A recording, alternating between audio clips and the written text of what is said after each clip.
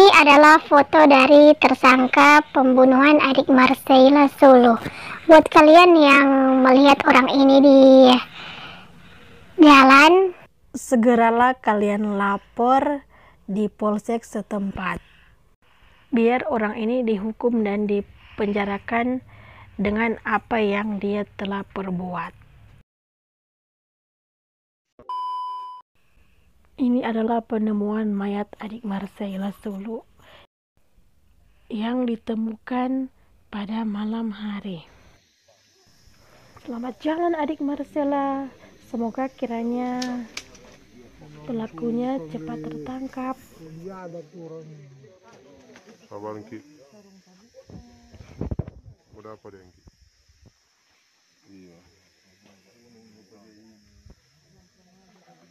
Apa hukuman mati pada dia